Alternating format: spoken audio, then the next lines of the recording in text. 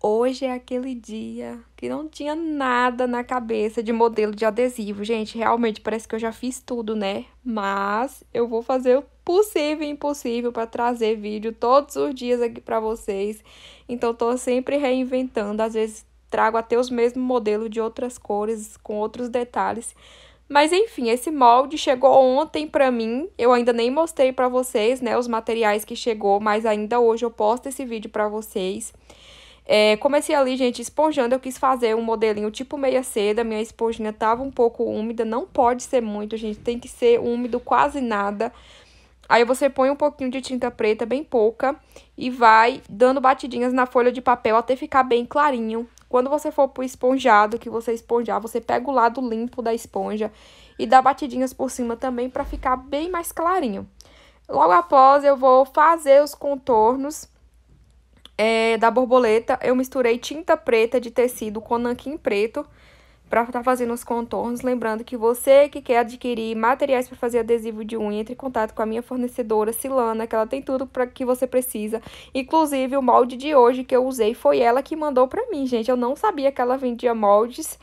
Mas agora que ela me mandou, eu sei que ela vende. Então, você que quer adquirir moldes, já sabe, né?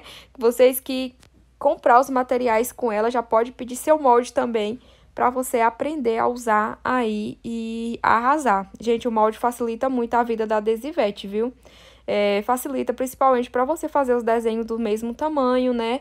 Às vezes você tá sem inspiração, sem ideia, você vai lá, olha os moldes, aí surge ideias para você fazer os adesivos.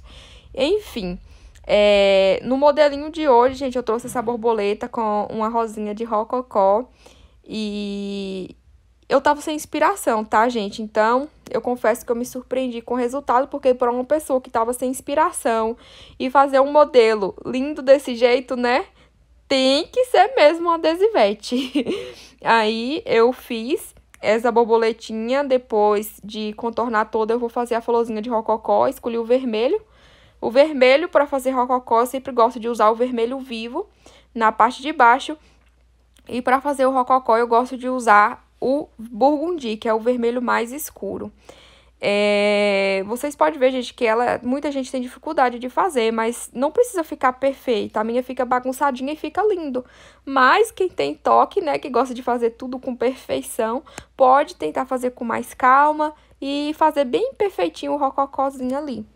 Agora eu vou fazer a folhinha é, com esse carimbo que eu adquiri com a Lindalva é, Coelho.